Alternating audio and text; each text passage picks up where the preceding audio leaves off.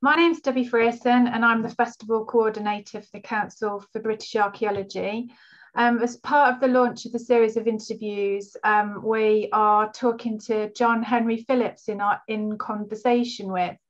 So John's an award-winning archaeologist, author and filmmaker of Romany descent who founded and led an exp expedition to locate the wreck of LCH 185 and also produced uh, the accompanying documentary, No Roses on a Sailor's Grave.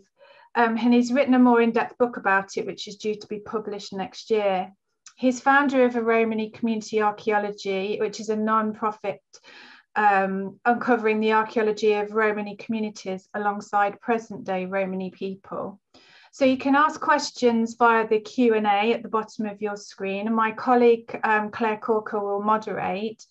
Um, it would be great if you could put in the chat um, where you're from and who you are so we know who's with us, please.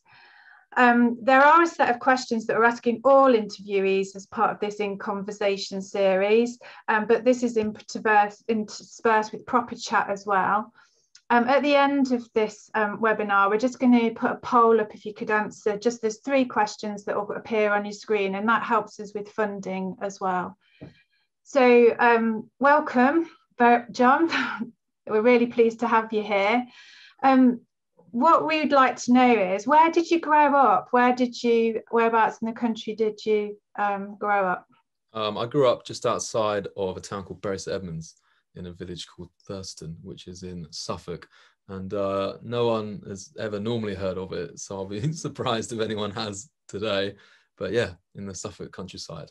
That's interesting. Did you embrace your Romany roots from the beginning, or was this kind of a later self-discovery? Was it always in the background, and you wanted to explore the heritage more? Or is it more of a recent? Um, no, no, it's, uh, it's it's no it's no recent discovery or anything like that. That's just that's just what our family is. That's yeah, obviously known it the whole time and and all that. Uh, started speaking about it more in line with my career and my work uh, last year I suppose. But but I mean, it wasn't like it was any sort of um, big moment. It's just that it never really came up in my career because it, it's not that relevant to to what I do. You know. No. And what was your first archaeological memory? Um, well, I think it was um, there was a, a, an excavation in my village when they were building a uh, new housing estate, and um, my dad and I used to walk around and, and look at the holes after they'd all gone home. And I actually ended up working for that company years later. And my dad found the newspaper article that we cut out because we were so excited about it. But just that, and oh, and also um, one of my relatives, uh, years before I was born, but found the uh, the Mildenhall treasure. Oh wow! Um, so that was always a thing in the family that that story. And I remember my dad buying me, uh, well, my mum and dad buying me a, a book by Roald Dahl uh, called The Mildenhall Treasure and reading that and and then going to visit the the field where it was because it's not too far away from me in Bury Edmunds. So yeah, those two. That's quite tangible. And did you take an academic route into archaeology or volunteer hands-on experience or both? How did you get involved yourself? Um, yeah, I I joined the the Young Archaeologists Club, as I'm sure many people did when I was younger. Yeah. I've, I've still got the badge somewhere. Um, it's quite old now. And then years later, when I was about 21, I suppose, I did my first excavation in Norfolk at a place called Sedgeford. Um, and I met a lot of people there that I, I still in, I'm still in touch with now. But after that, I went to university and did an archaeology degree at University of Leicester. And yeah, after that, I was an archaeologist. Well done. And some, some of the questions that we're asking are, have come in from the public and everything. So I'm kind of interspersing them um, with learning about you as well. So awesome. I know I know you're relatively young, um, but what piece of advice would you give your younger self? Do you think at the start of your archaeological career? Um, God, I don't know. That's the that's an interesting one. Probably. I, I don't know. Dig a bit more carefully. I, I, used to, I used to put my back out quite a lot in the early days. I don't do that so much these days, but um, yeah, take it a bit more easy don't try and impress people as much. Yeah. Probably, yeah. Don't kill yourself digging that hole. That's yeah, absolutely. Yeah. Is there any advice that you would give parents or carers of someone who wanted to do a degree in archaeology or go into archaeology as a trainee at all? Um, other than just kind of give it a go. Yeah, I think that's probably the only advice I'd have on on that. Um, I, one of archaeology is interesting because it's one of those things where if you go to like a family wedding or a night out or something, there's always someone who's like, "Oh, I always wanted to be an archaeologist." And I don't think people realise that there's actually so many opportunities to take part. Yeah, it's not as always, exclusive. Exactly, I'm always saying to people, well, you can always volunteer on a on a dig or, you know, go to talks that people put on and stuff like that. And there's so many opportunities. So I suppose I'd say just just get involved, give it a go, and if you don't like it, yeah, fine. excellent. I want to move on to your film. Um, I've got um, a clip here that will, it's about a three minute clip, so we'll play that.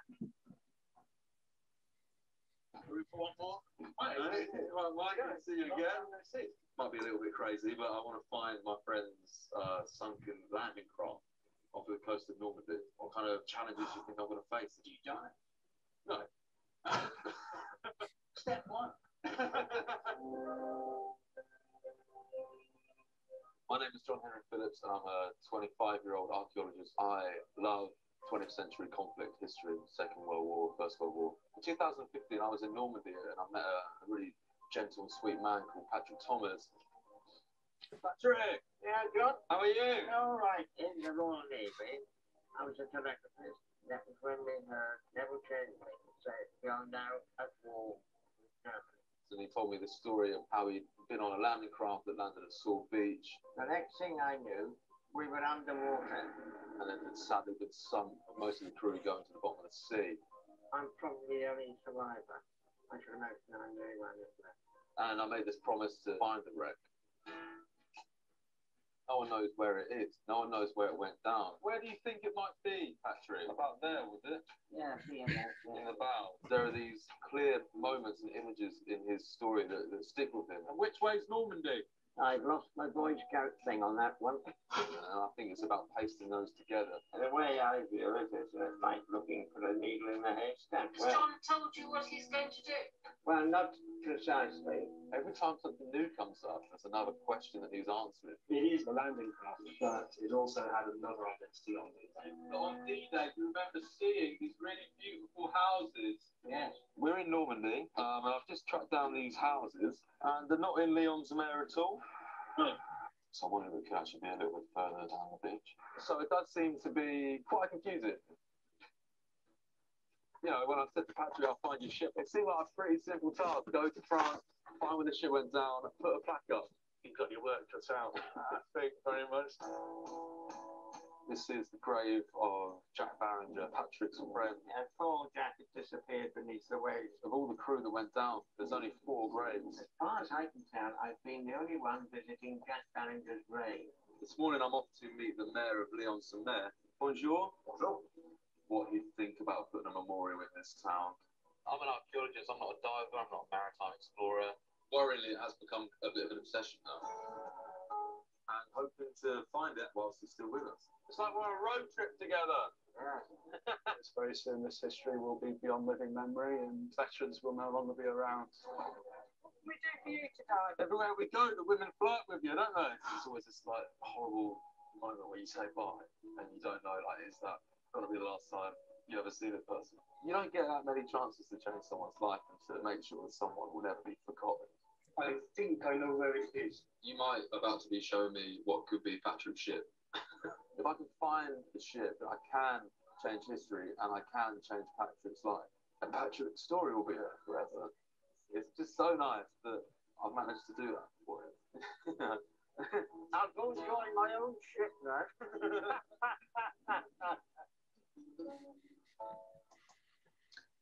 So during the festival, there's been a few emotional things for me, and I, that's the third time I've watched that, and I can't. I still end up um, feeling quite emotional about it.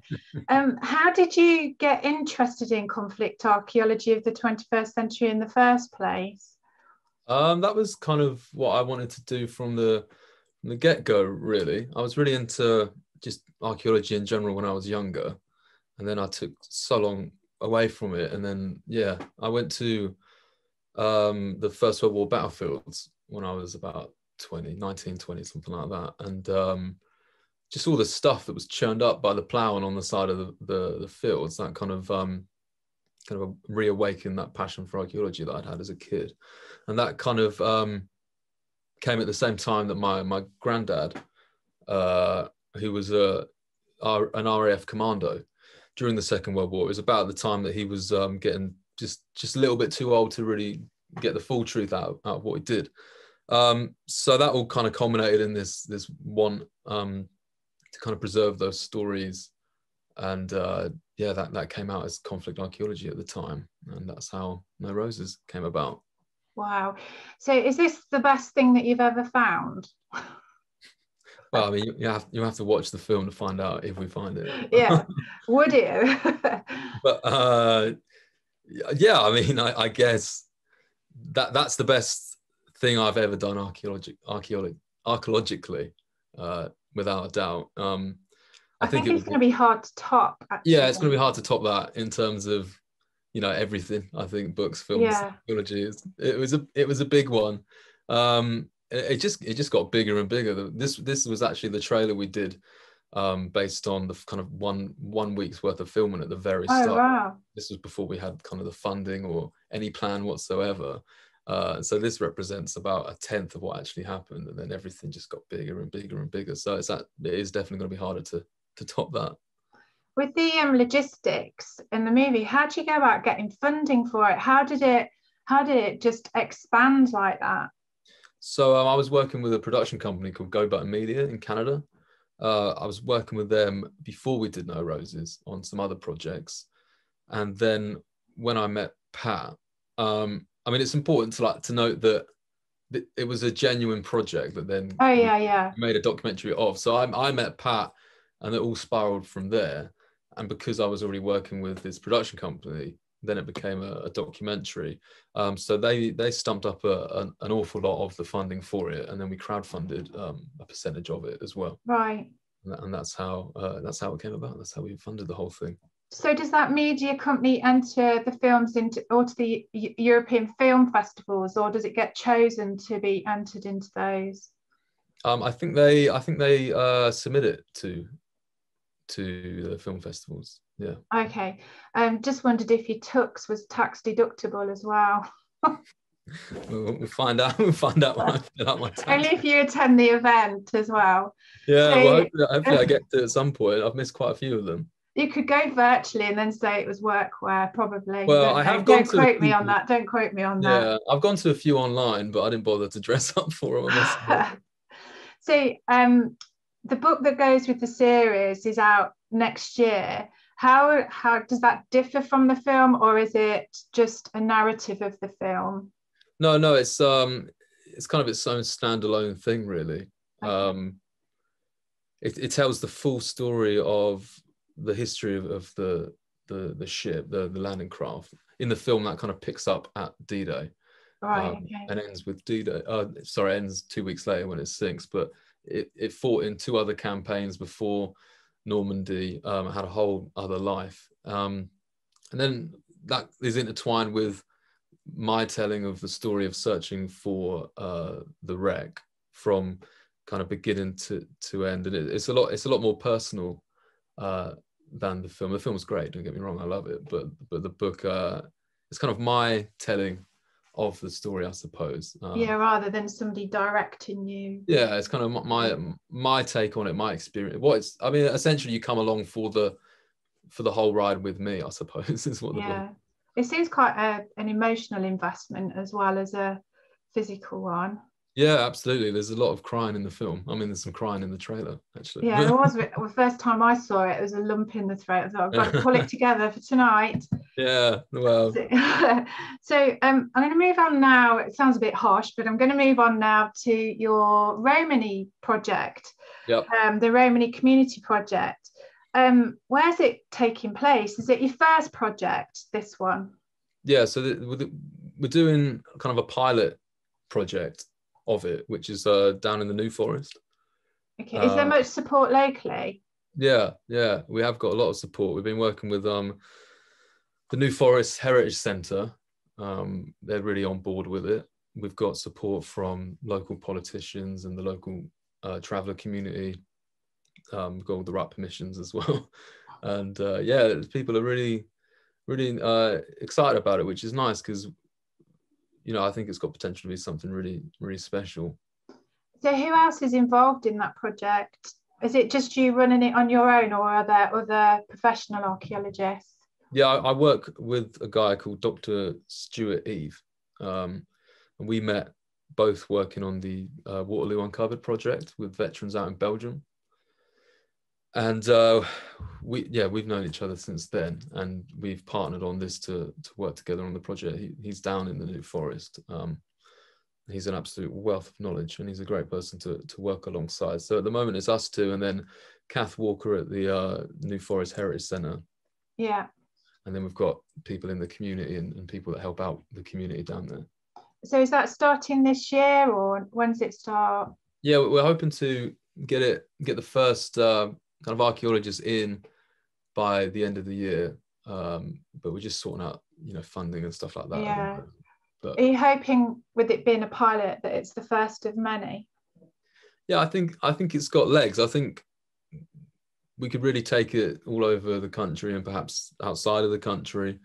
Um, just we'll just see how it goes. But it's, it's yeah. going to be great. We're working with a, a, a film company to do a couple of little short, much smaller than No Roses on a Sailor's Grave. Yeah. there is going to be a couple of mini documentaries, kind of telling the story of the site and the people who can relate to it personally and that sort of thing. Um, and based on the success of that, um, I think yeah, we'll try and take it elsewhere. I get all the time people telling me about potential sites that they know. Yeah, about. I think I, I even when we met um, like a month or so ago, I was spouting off some near where I am in the Midlands. Yeah, and I yeah. think there's a real appetite for it as well with this new hybrid way of working with digital um, and in person as well. I think these bite-sized um, community pieces, um, there's so much um, enthusiasm for it, especially um, as being part of the festival. Um, yeah. I see so much of it. So yeah. can you talk us through these pictures? I want you to start with the Sloan's at the bottom because I think that's great. If you talk us through. Yes, so that was found just when we were just down there for the day actually just kind of scoping out the place um, and that that that was used to uh, relieve pain in joints um, it started off in horses and then uh, it was moved to humans used it as well um, so the great thing about sort of traveler based archaeological sites is um, having artifacts to do with horses is quite a good sign that you're in the right place and, and that was a real good moment where we saw that sticking out the ground i mean that that photograph, that's literally how it was. We, we hadn't touched it. It's just sticking out the ground because there's such a kind of wealth of uh, stuff down there. And the um, pottery on the left hand side?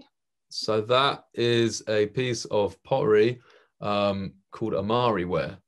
Um, and that's from the early 19th cent- uh, sorry, early 1900s. And that was imported imported from Asia. And what's interesting about that is that later became well, it got picked up by Crown Derby, who make their own version called Old Imari, and that is traditionally found in modern travelers' uh, places where they live, cabinets of Crown Derby Old Imari pattern. Um, so again, that's like a perfect link between the past, this old site that we're excavating, and modern day uh, travellers. So yeah, that was again that was that was an amazing moment to see that sticking out of the ground because we weren't really sure um, we had the idea for the for the project, but we weren't sure if it had legs in in the fact that was there any archaeology to be found. Hmm. Uh, so seeing something like that, you know, like my my my family has Crown Derby that looks like that. Um, so it was a great moment. Yeah. What about the basket? So the basket um, came out of the New Forest Heritage Centre, uh, and Kath kindly brought it along to the picnic that we had, which is the other photograph. Um, we had a little introductory picnic with the traveller community down there. And what's amazing about the basket is it was made at the site uh, that we're looking into. It's made out of brambles, if I remember correctly. Wow. And Kath brought it along and showed it to the people we were with. um, and it had the label for who made it written on there from the archives of the museum. And she held it up and said, "Oh, this is who made it." And the lady who made the basket, her granddaughter was sat at our picnic. Oh, wow. She didn't know we were bringing this basket. We didn't know that she was coming. She, she knew she knew the name straight away and said, "Oh, that's my nan that made that." Um, which again was t- talking about links between the past and the present at this site. That, that was just mind blowing, um, and it immediately kind of showed the potential of working with a community who, can personally relate to the uh, site that we're looking into. And why um, I can see um, the community. Is that your colleague there who's in the blue? Um, yeah, that's true. Yeah. yeah. So, so why did you choose this site? What was so special about this site as the pilot? Um, it's we, we look we chose to look into this site because it's kind of a self-contained um, archaeological site, really, because the the story of it is it, it was essentially um, a compound.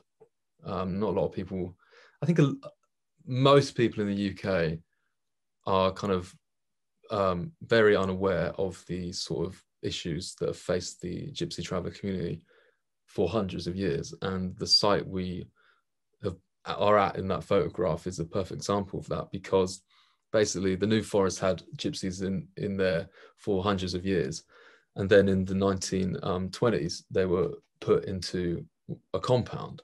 Um, and they basically had to stay there. They couldn't. They they had to sleep on um, floors that weren't permanent. That was part of the rule. So they ended up kind of sleeping on the mud, um, and they didn't have any water, and they they lost their ability to travel, which was their way of making money traveling. Um, that was their economy. So they kind of overnight just ended up in a really bad situation. And then later on, uh, they got secondhand prefab houses and then they became um, council houses later on. And the, the interesting thing about the compound site is that the uh, descendants of the compound still live around the old compound. Right. Um, so the reason we looked into that site is because you know they're literally still there, and the whole point of Romani community archaeology, as it says in the name, uh, is to work with the community. Because um, if it was if it was just people that have nothing to do with with Romany or travelers or gypsies, um, it, I don't think it has anywhere near as much meaning as actually working with the people. No, no, absolutely. Um, which is why we did it. And so it was just an amazing example of how you can get the people involved who who know more than us. You know, they know the story of that site, um, and it's a great chance for them to teach us about the site and for us to teach them about archaeology and kind of share that uh, that conversation between us. You know. So I know in the New Forest, only from um, because of the amount of things that have happened during the festival, that they've already got quite a strong volunteering community in there. Um, how have they um, embraced your project? Have they embraced your project, or is it like ring fence for their work, or or is it working quite well? Yeah, I mean, yeah, we haven't found any problems. It's very, very, very early days for this project. I, I must stress that. Um, at the moment it's about building those relationships with the local uh, traveller community. Um, so we've not really had too much uh, interaction with with other volunteers. Um, but at the moment, we're just kind of concentrating on, on on making sure we have volunteers from the actual community, the traveller community, who are incredibly, from what I've found, incredibly enthusiastic and excited about the potential of the project. So yeah, it's, it's going to be good. Brilliant. And on Twitter, um, you're very vocal about the many phrases used to describe um, the community. Um, so, what terminology is correct? Is it GRT, the Gypsy Roma Traveller community? Um, is that um, how the community is described rather than the many phrases that you have to defend?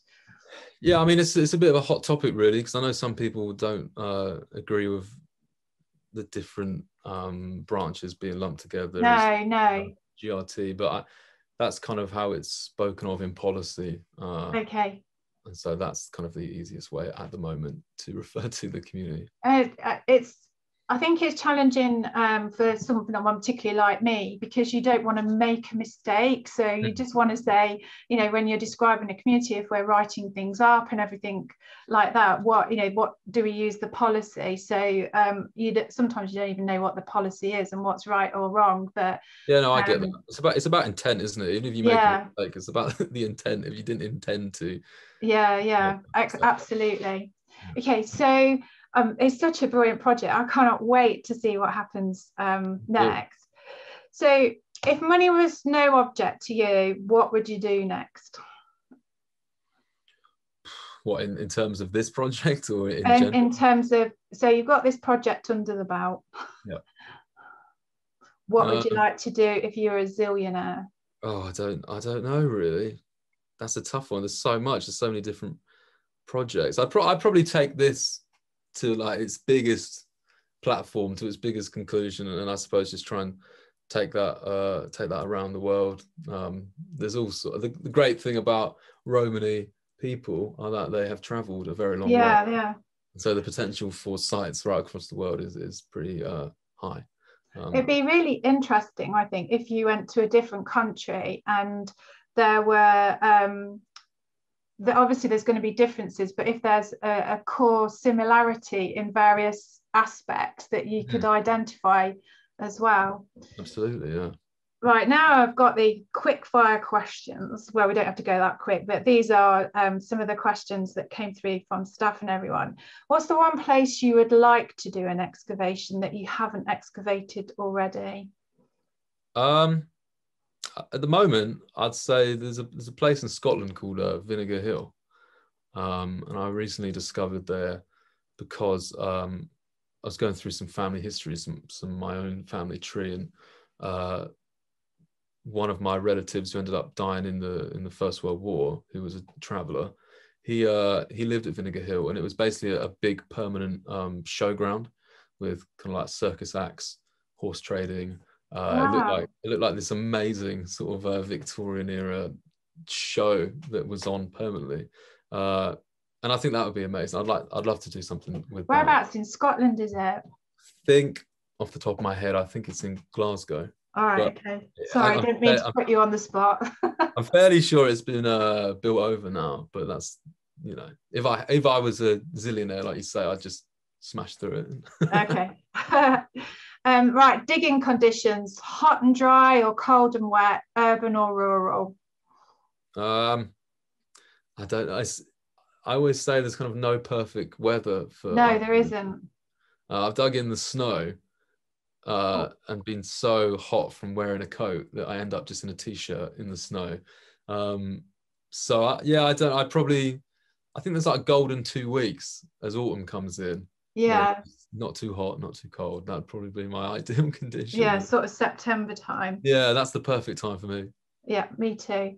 Um, if there's one thing you could change about the way archaeology is structured at the moment, what would it be? Um, yeah, I, I don't know. Um,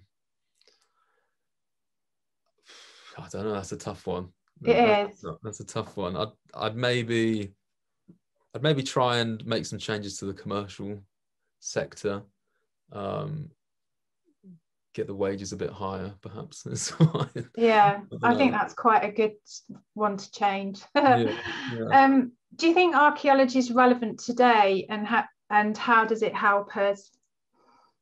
Um, yeah, I think it's absolutely relevant today. Um, I think with no roses, the, the kind of underlying message of, of that was that we by by telling that story of, of the past then it could really make hopefully try and make people think about the way we live today and i think that applies as well to the the community romani community project because you know we're highlighting what happened back then and and that's still um okay in, in england they're not still putting compounds per se although they're not far off but mm. um that highlights that, and so many people don't realize that that, that, that was a thing back then. And I think so. No, I didn't. yeah, I think a lot of people don't realize just how much um, the traveler community gets uh, abused to this day. So it's kind of a perfect example of using archaeology to highlight the present day and to hopefully try and change things for the future. Um, I, I, agree, and I, I think although your projects seem quite different, they're still showing an underrepresented story. So with your No Roses, I had no idea, because that genre is studied to the nth degree you know that every tv channel on freeview has always got something about that. And when i saw that I thought why has nobody even looked at this before? And then with your romany project i didn't even know not that i expect to know everything but you know i thought i don't even know this. And so yeah. that's i think that's why it's so exciting because um, it's interesting, it's valid, and um, I've you know I feel educated when I'm looking at it, and I know that others do. Because I've you know after I first met you, I was saying to people, "Did you know this?" I'm going, "Oh no," I've you know. So um, it's got legs, definitely. Yeah, well, it's nice of you to say because I feel like with No Roses, many people have said to me they didn't realise that after D-Day, the landing craft was still in the area of no. Beach, uh, and and like people think it's a D-Day story, but it's not really a D-Day story. No. It came after uh, D-Day, and and like you say about you didn't know much about the Romani stuff, and I, I, that's so important to me because often it can feel like not just in archaeology, but just the general kind of making people aware of of traveler issues. Is it kind of feels like you're screaming into a void a lot of the time, and that no one's really paying attention. And then every once in a while, I'll have someone say to me, "Oh, I told my friend about that thing you said and, and that kind of makes all the stress of being like why is no one listening? Oh yeah we are. That's the trouble because you're not meeting them face to face and being in a community. I don't think you're probably aware of the ripples of mm, yeah, people are hopefully. talking and that's one of the reasons why we wanted to do this really so that we can put it out there to make you know bigger ripples kind of yeah hopefully. That'd be nice. Yeah. Um so I, I know I'm chopping and changing here. What? Where's your favourite place? Where would you think? Right, this is it. I want to be here. I don't know. The world's a big place. There. Um, in lockdown, and we're not lockdown. Outside of lockdown during the pandemic, I went to North Wales twice for the first time. And yeah, that, that was a great. That was a great place I'd never been before. Um, I spent some time in the Rocky Mountains just before the pandemic. That was pretty. That was pretty cushy. And that was nice. Um, so yeah, maybe something like that. I like living. I like being by the sea. Southwold. I like Southwold a lot. I know these are two two of these places are in Britain. That's not that exotic, but uh... no, it is. Why not? We've got our whole theme for our festival is your local place, and oh. we've got stories of um, places and spaces where people are putting photos up of, and why it means so much to them. So absolutely, it can be. Yeah, um, I think um, that's local. different, isn't it? Like local places mean something to your life and to you know, like southport I've got loads of memories. Yeah. There. Um, so I suppose no place like home is there. Um, so if you could try time travel, then what period would you go back to, and what would you do? Um, See, I wouldn't go back too far. I'd, uh, I'd, probably, I'd probably go back and uh, witness, as as that points out, I'd probably witness the rise of the Beatles. I think would probably be my, yeah, that was good. My, my moment uh, when they play on the top of the uh, the building on Savile Row for their last yeah. performance. I'd I'd be there. I think with with the benefit of knowing that it's their last ever show, whereas no one else did. So I'd be lapping it up a lot more than everyone. And else. go and get their signatures and yeah, sell them to fund yeah. your next project. Absolutely, yeah, of course, yeah. so moving on then, if archaeology was a band, what band would it be? Uh yeah, that's that's a that's a toughie. I'd maybe maybe I would say uh the E Street band, you know, Springsteen's band, because I think maybe archaeology is very eclectic, isn't it? There's yes. a lot, of, lot of different, uh, lot of different parts to it. And the E Street Band are massive, and there's all sorts of different musicians. So maybe I'd say that. Yeah, lots of different collective people in a collective, but making a difference. Absolutely. If you were on the desert island, what would archaeological object would you take with you? Um. Well, it's not it's not a tool, but I'd probably take uh that piece of pottery. Uh, yeah. Because it reminds me of how nice it's been to to do this project, even though it's such early days. Uh, and if I couldn't have that, again, an artifact, I'd probably take uh, the Mildenhall treasure and I'd probably try and trade it with someone to get get off the island. I guess it's probably worth quite a bit. So this is the last one, which came from our member of staff. It was, what's the best question about archaeology you've ever been asked? Obviously, um, present conversation can be excluded. um, God, I don't, I don't know. Best question I've ever been asked. I'm not it's sure. I mean, about I, dinosaurs, though. yeah, there's that. I mean, yeah, but that would be a, wouldn't that be the worst question? The yeah. Asked, probably like, you know, are you going to be on time team or something? That's the yeah one I get all the time. Um, and I go, no, it was cancelled. right. So I'm just going to um, tell people who are watching that there's still some amazing events to attend as part of the festival and give just give them a chance to put forward some other questions and I'll go into the questions now. Okay, we have Georgina Dorothy. Is there a particular dream artifact or site you'd like to discover that you know of from Romani history, stories, or legends, nationally or globally? What a great question. Great question. Um, I think in, in Britain, I'd love to find sort of a, a Vardo, you know, like the wagons. That'd oh, be, yeah. That'd be pretty spectacular. Um, that would be that would be a dream find, and and if if not that, outside of Britain, probably try and find the sort of origin, like the starting point in in India would be pretty special, I think. Yeah, that would be cool. Yeah. Um, Claire has asked, who's our moderator? oh, sorry, no, Dan. She says that Dan Turner, who's a London artist under Romani, do you have any plans to examine the history of Romani in this country via the exploration of stopping places? Yeah, we'd we'd like we'd love to do that. Um, the site that we're looking at was originally a stopping place. That's how it became uh, a compound because the travellers are already stopping there. Um, so it, if that project goes well, then uh, we'd love to do some uh, more stopping places.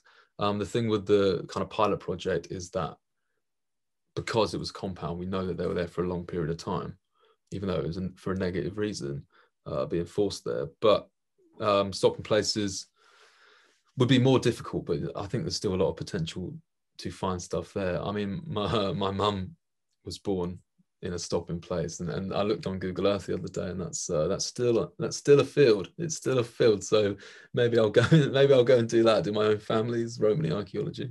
Would you have to do that via like an oral history project, or is there any written?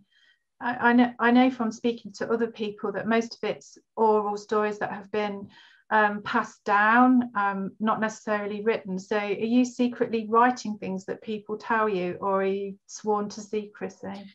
Well, yeah, um, not not a lot of stuff is traditionally written down, um, but yeah, people come to us with with tales, and uh, we're lucky that the compound itself for the pilot project was quite well documented. Um, All right. And because the families are still in the area, uh, who can literally tell us, oh, that's you know that's where my nan was born or stuff like that. So yeah. Um, Sarah's got a good question. What will happen to any finds from the dig? Um, well, from the pilot project, they're going to be stored at the New Forest Heritage Centre. Um, and I think the plan is to kind of put together a little display, which will be really spectacular. And I think we're going to work with the uh, the local traveller community to do that. Excuse me. Uh, Georgina, um, Dorothy again, how long ago in time do you hope to or know you can find archaeological evidence of Romani heritage? Um, let's let's go right back to when Romani first got here. I reckon 500 years. I, I think we can. I think we can do it. Let's let's go for the big one. Yeah, go for it. um, do you have a favourite bit of music to listen to whilst working? That's from um, Sam, Sam Horn.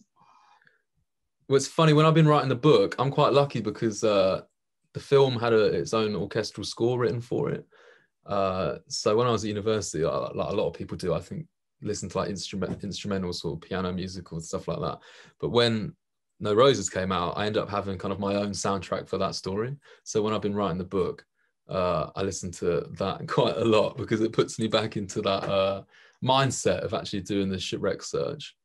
But other than that, um, yeah, I just kind of listen to songs that I've never heard before so that I don't get distracted. It's kind of my key thing. Okay. Um, Andrew says, how strong are the Romani languages and dialects And are they under threat from changes forced on the GRT community? As part of this, how important is language in the archaeological investigation and inquiries, and can they be preserved? Um, yeah, the Romani language, I mean, it varies so much between countries, uh, even varies between areas in the UK. Um, some communities speak it a lot more than others, but it's it's uh, I mean, it's it's in it's in danger in the sense that a lot of younger generations don't speak it, don't carry it on. Um, whether that's through sort of assimilation that they've not wanted to go through, or um, you know their relatives not wanting them to speak it because it causes you a lot of trouble when people find out that's who you are. So it's definitely being lost. Um, and in terms of it being important to the archaeology, um, yeah, as of now, it's not too important to the project we're working on because uh, it's quite a recent sort of excavation. But I suppose it it may it may become more important as the uh, as the project moves on. I suppose we'll see. That's an interesting topic, actually. Yeah. Okay. Um, Sam, again, do you, do you enjoy the underwater explorations? Yeah, I mean, I've only done it once for No Roses. I've dived quite a bit, but for an actual expedition, only the one time, and it was uh, it was really enjoyable. It was it was really stressful as well, because when I dive on the on the wreck in the film, it's the first time I'd ever dived out of a dinghy. Every other time, I kind of walked off the shore or in a quarry just to train. Um, so that was a huge no pun intended, like jumping in at the deep end. It was really savage. Suddenly being five miles out to sea in the English Channel. Yeah. Um, and the, and I'd only ever dived in a quarry in Leicester and, the, and Malta, where the sea's normally quite calm. So suddenly being in the Channel, it was so kind of immediately different. Um, and being down on the wreck, I was kind of getting pulled off of it by the current and uh, you know swayed side to side when I was on the uh, the line coming back up and so there was there was an element of it that was really enjoyable, which is the kind of adventure of it all and the excitement of seeing uh, the wreck. But it was definitely um, there's a, a, a, lot to think about, and it's it's very uh, it can be quite um, it can be quite scary. Diving. Yeah, I can imagine. yeah, but we'll see. I'm, I'm sure I'll do it again one day. Um, somebody said she they recently I think this might be Claire. I recently visited the Tinker's Heart near Loch Fyne, which I think is one of the only traveller sites to be recognised as a national monument. Do you think there are more sites that should be recognised in this way, or is there a better way to recognise and celebrate the GRT history? Um, well, yeah, I've, I've never been to the Tinker's Heart, but I've read a lot about it, and it looks it looks really special. I'd love to get up there. Um, I think in terms of kind of commemorating other sites. I mean, you've you've got Appleby, which is kind of a living monument to the GRT community. Uh, that's such a historic site where people have been going to trade horses and, and stuff like that for for so long. Um, and that kind of stands as its own sort of monument to to the living memory of it. Um, but I think there's still such a long way to go to even get to the point of uh, commemorating traveler sites uh, because we kind of have to get travelers actual equal rights first yeah. uh, before we start thinking about that sort of thing um, so yeah a, a, long way to go to get to that point but we're, we're, we're, certainly making a making a dent i mean the place we're working at um, in the new forest uh, potentially that could, that could be a spot to sort of have a plaque or something. It surely deserves. Well, that ties in with um, Rona Ramsey because um, you've already answered part of her question, but she wondered if there should be a, re- a museum of Romani history there um, as part of the New Forest Heritage Centre. Well, th- there is a um, there is a, a, a, Romani museum in the UK. Um, where is the, it? It's the Boswell Museum, but I'm not sure where it is to be honest. Uh, okay. Up north somewhere. Um, so you know, if people want to find out, they can find out about these sort of things, and they can learn and go to the sort of that museum and and uh, there's some in Europe. I once walked right across uh, Belgrade in the freezing cold to get to a Romani museum uh, with my best mate, and then when I got there, it was shut, and we'd been walking oh. for hours and hours and hours, and it was really upsetting. But uh, one day, I'd like to go to that. um, Sarah Bailey says, um, "How old was the bramble basket?" Uh, that was from the 1960s, if I remember correctly. Right. Okay, and anonymous, somebody anonymous doesn't know you very well because they said, "Do you have a hat? If not, why not?" Or the coolest archaeologists have a hat. But if anybody sees you on Twitter, you've always got a hat on when you're on site. Not always, but I do. Well, uh, you do have a hat. I, I treated myself to a very nice hat when I was living in Canada, and uh, yeah, it's yeah, it's a pretty nice hat. Yes, almost too nice to wear on a dig, to be honest. Yeah. And um, another person said, What's the weirdest unexplained thing that you found? Um, I went through a period of finding lo- loads of uh, baby dolls' arms on a dig. Oh, no. Popping up. Yeah. Fake teeth. I found someone's dentures. Oh. um, uh, and that, it's not that weird, but we, we once found um, the little the little man from the James Bond car from the 60s, the ejector man. All right yeah, we found him, and it, I was it was an excavation at a castle, but that was actually probably the coolest thing we, we found. So in the finds identification book, like you have pottery finds and lithic finds, is there a James Bond car character find book? How did well, you know that? I mean, I, I, might have to create one if keep up this amazing luck. And Natalia says, out of all the things you've done so far, what's your biggest personal and professional accomplishment? Um, probably making a feature length documentary uh, at the age of 25. That was quite a big one. And then signing a book deal. That was really. Yeah, that's pretty good. That was, that was a dream come true. That was kind of, uh, I always, being an author was kind of my top priority since I was a kid. And then everything else that's come with like archaeology and making films has just kind of been. It's all part of the same web yeah. that's coming together. Yeah, I've been, I've been, I've been lucky. I've been lucky. I think, yeah, there's a different look and hard work probably yeah a lot a lot of hard work I yeah i know you can't just say you've been lucky because that just doesn't come um, i'm going to finish um uh, Psycha Groves they say they have dual uk citizenship and they're planning on heading over this after the pandemic subsides once they're allowed um, are there any sites that you would recommend to a fellow archaeologist to start off with in the uk um, well, if you've got dual citizenship, then you can surely work in the UK. Yeah. So you could get a job in commercial archaeology almost straight away. There's lots of jobs, and you could go all over the country digging up all your dream sites and having a great time. So just have a look for some jobs in that sector. You'll be away. Fantastic. Yeah. Um, thank you so much. We're just going to put up the um, the poll. Um, I think Claire's going to put that up now and um, she'll let us know when it's finished. Um, really appreciate you spending time with oh, us tonight. Um, it's been really interesting. And um, although we had a conversation with you before this started, I've learned a lot tonight. Um, and this is my first interview. Wow, you've done Normally great. it's um, our chief executive, but he's in a tent walking around England and, and Wales as part of the festival. So um, well done. I've done a lot of interviews. This is definitely this is up there. It's in the Oh, thank you. thank you. um, yeah, we really appreciate it. So once the poll's over, um, the uh, webinar will just stop because there's no niceties in Zoom. It doesn't just uh, sing you out and um, yeah. say goodbye. But um, Claire's just sorting the poll out now you can go down the pub now once this is once this is done. I think to realise. Thank you everyone for taking part in the poll and you'll be sent an email with a questionnaire after.